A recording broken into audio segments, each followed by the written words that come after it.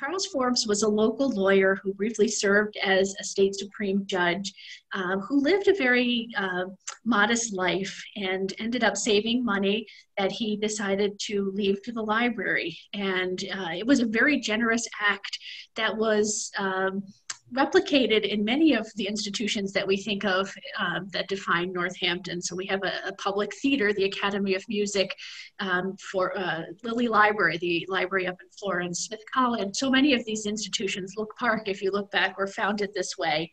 Um, and it, it's really amazing how much phil- philanthropic um, impact they had on what we think of as Northampton today.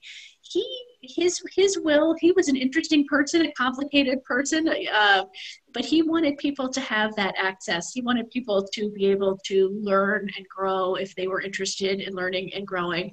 Um, and um, he, he his vision there was another public library in northampton at the time uh, oh. but he wanted to start his own library so it, it, was it's it's an interesting story and we're very grateful to him that he did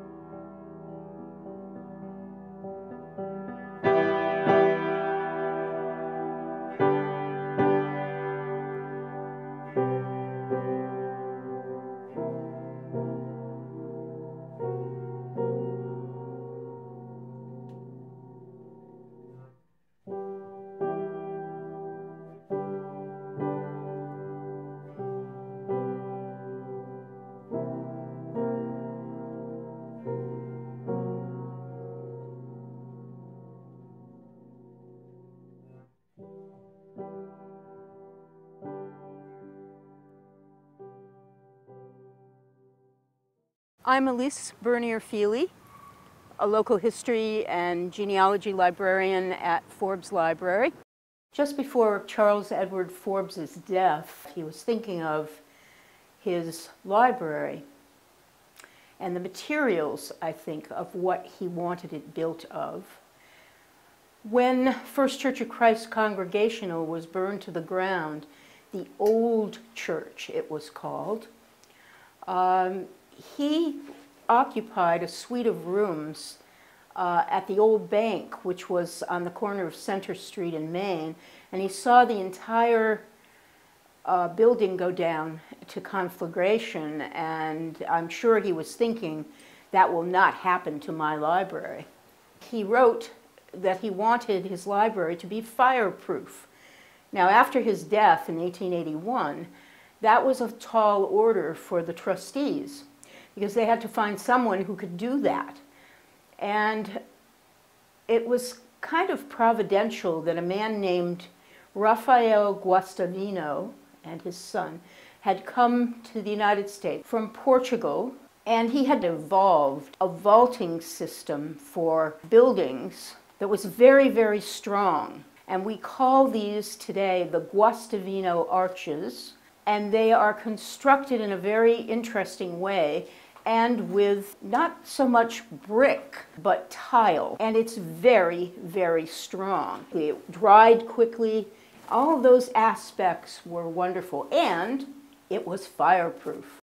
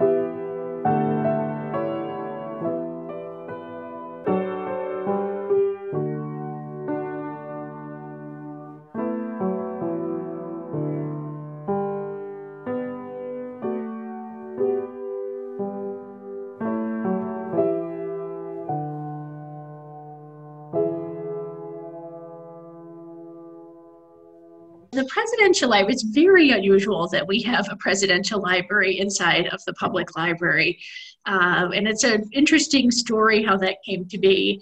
Uh, so um, Harrison um, was one of the early directors, and he was a big collector. He um, collected all kinds of things. So we have this fabulous World War uh, World Wars posters, I should say, um, and, and and and that's a very beautiful collection. Um, also of historical interest, and uh, he really saw one of the roles of, of, being the library director was to create these collections that were um, just going to be before us for a short period of time, and and then what could they bring to the community as as a research tool into the future.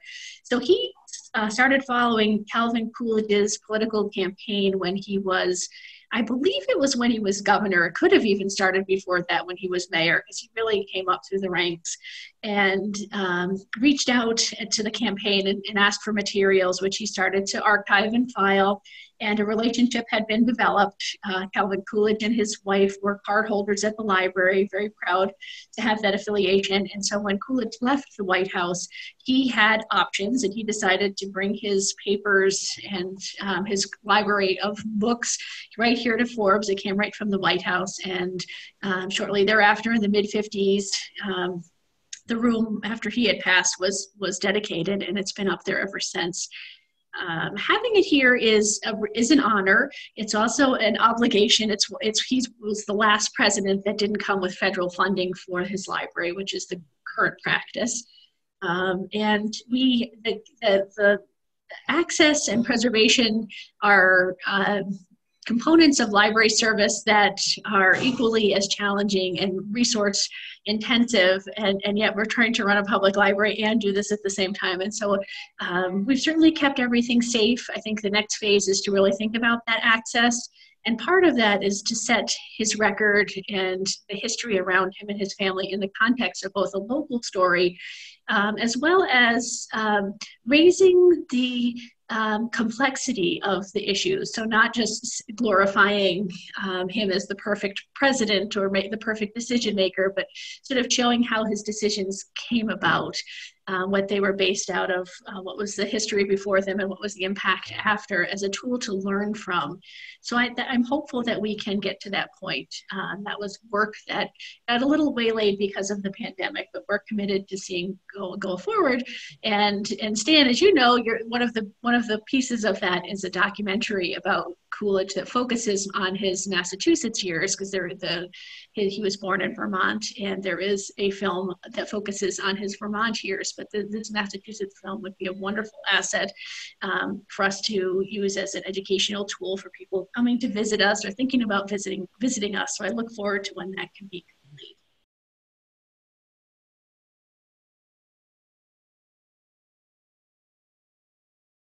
Yeah, so we have been doing programming um, since way back when. Actually, on our 125th anniversary, one of the things that we did was a community sing out on the lawn, which um, replicated, I guess, to some extent, an event that had taken place at the end of World War One. So it was the 100th anniversary of this event. Singing along, it was mostly patriotic songs at that time, but uh, it was a way to bring the community together and to celebrate the end of the war.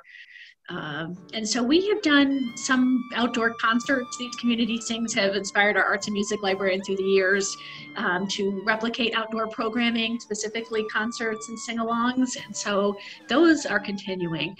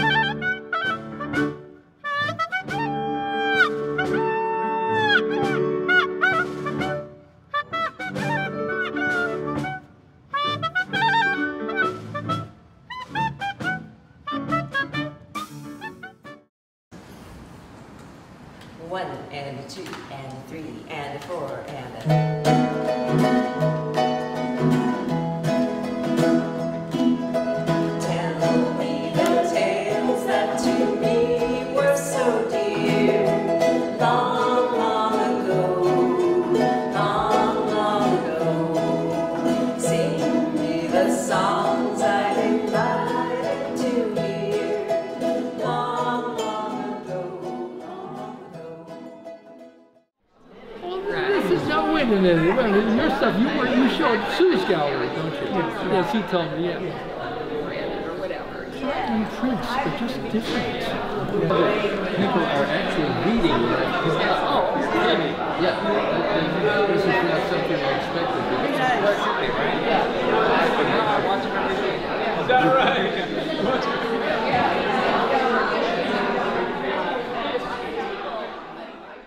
Everything is done in a darkroom.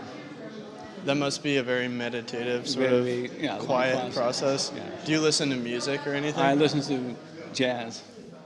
And all these were just like cut paper with different metallic, silver, blue, red, and all that would give me the tones of a So- black and we didn't have, and we and children's programming has been something we've done for for a long time, especially in the summer as a tie-in to summer reading program.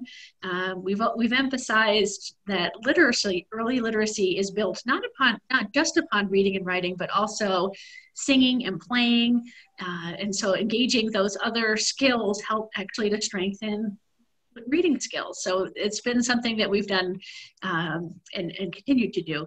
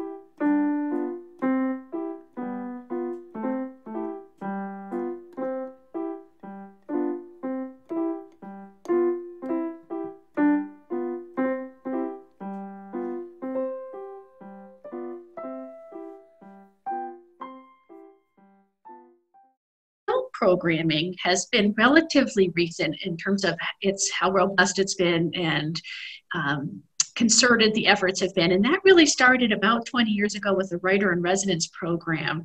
The previous director was friends with a local writer, and she approached us, Diana Gordon, who should be named. She, she really was a catalyst of change here at the library, and, and, and said, you know, there's not much going on for adults, and we have such a rich literary community, uh, both writers and readers, that I'd like to see us do something. And so the two of them dreamed up a, a, a series. It was actually a poetry discussion and reading series. It was a couple different things that went on for years and years. And, and I, that's when I had stepped in as assistant director and was part of that. And we just each month would bring local authors, mostly a lot of local poets, in to read their work. Um, and that sort of spurred us into thinking about people saw us as a place to come and showcase their work or the things that they were interested in, and us to connect with the community and larger communities that maybe we hadn't been connecting with. And so it really just took off from there. So there's the things you would really think of maybe as uh, book discussions, um, all kinds of literary based events, but then it went on to, to programming and concerts, and there's yoga and uh, you name it. And, and what's really been great about the programming is that it highlights the interests of the community. So very rarely do we do something in a vacuum. It's often because we're approached by somebody else in the community, and we always try to say yes. So if it's a conservation group or social justice organization or whatever it is, we really want to provide a platform for the community to connect with others and, and, and discuss what they're what they're interested in. Hi, everybody. Thank you so much for coming out tonight. I'm Susan Stinson. I'm the writer in residence at Forbes Library, which is a fabulous lucky thing to get to do. And this is the Local History Local Novelist series. And the series is based on the premise that the depth and nuance and empathy with which we engage with history is in large part defined by the depth and nuance and empathy with which we engage with story, stories of all kinds. So I want to honor all those who stopped time by writing about the lost towns of the Swift River Valley and to welcome our readers. Hiker. For solitude, walk here. If you are patient, you will be rewarded by fox, turkey, coyote, deer. Grouse may startle up from brush, raccoon or porcupine peer down from a limb. Near water, follow osprey scanning for fish, eagles riding the thermals, loons reappearing after long dives. Trails lead past lush beds of fern, flickering in every shade of green, to dams knit by beavers, exquisite in their knowledge of where a meadow is needed. You may never see another human all day. If you listen to wind comb the forest, trees creaking like floorboards, you may suddenly be gripped by old sorrows and not know why. The footage we're going to show you tonight, donated by his family, is of the flood of 1936. It is, as far as we know, the only film footage of Northampton in the flood of 1936 and has never been before seen publicly.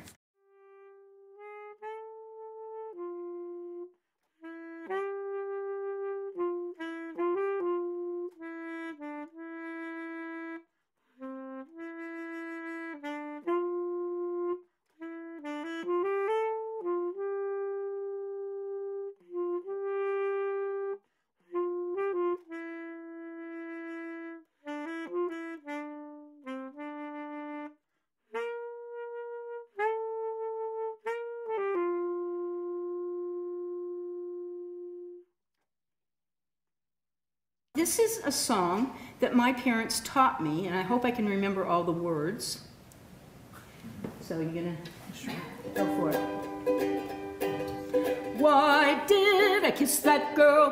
Why, oh, why, oh, why? Why did I kiss that girl? I could almost cry. I'm nervous, so nervous, I'm worried and blue. And if her kiss did that, what would her hugging do? Ma says that I'm a wreck, and she's right. Pa says he'll break my neck, he can't sleep at night. They're upset and all because I ain't like I used to was. Why did I kiss that girl? Why, oh, why, oh, why?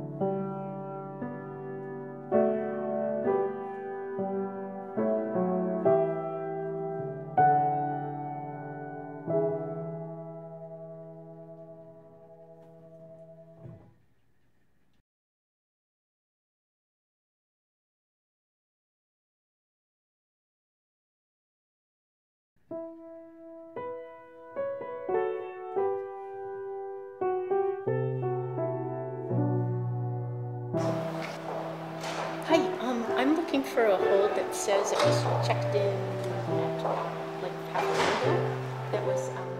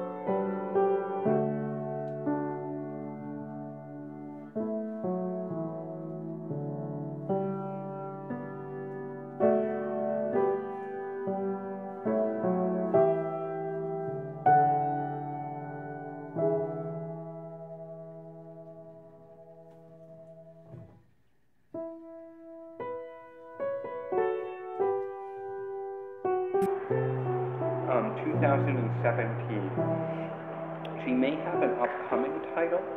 Um, there's a film about Marilyn Monroe that is in pre-production right now. Um, that said, they're just doing the casting, so I don't know if it is definite that she is.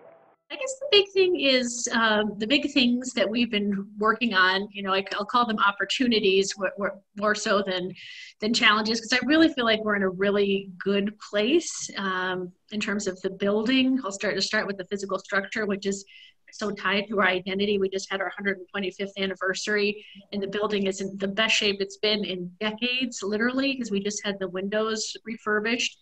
Um, the the stonework had been repointed, the roof has been maintained. Everything is just, the building is really looking great. And it wasn't that way. Um, there had been deferred maintenance for years. And um, so the trustees really should be credited along with the city of Northampton for bringing this building back. So that's really great. This is an ex- extraordinary story of William C. Brocklesby, who was the architect of this building. First of all, I'd like you to see the archway. The archway that that H.H. H. Richardson did was an archway that was reminiscent of what they call the Syrian arch. The Syrian arch is much shorter than a regular arch and sits on capitals. That arch is, is much shorter and, and I, I'll use the word squattier than a regular arch. And that is a Richardsonian trait. All of his entryways are like this.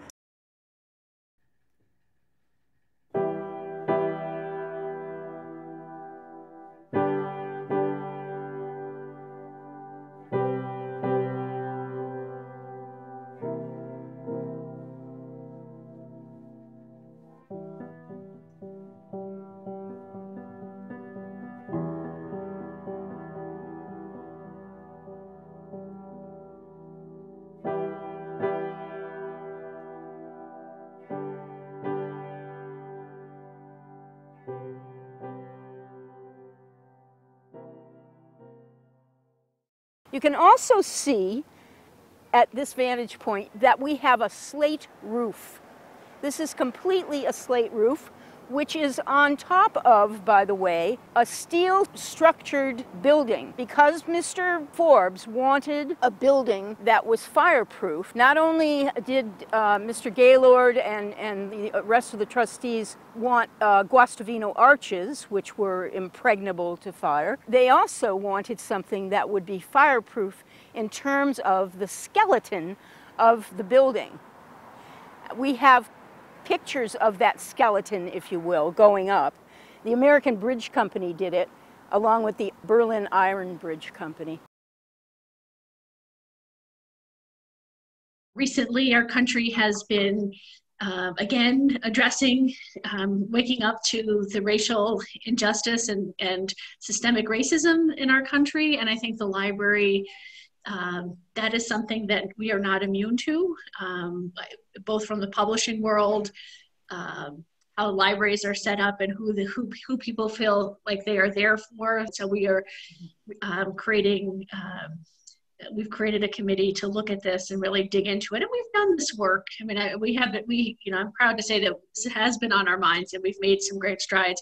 But this has really focused us in, in a new way. So again, um, something to be concerned about, but that we're trying to take energy from and create an opportunity out of. Right now, it's definitely the, the COVID 19 pandemic situation.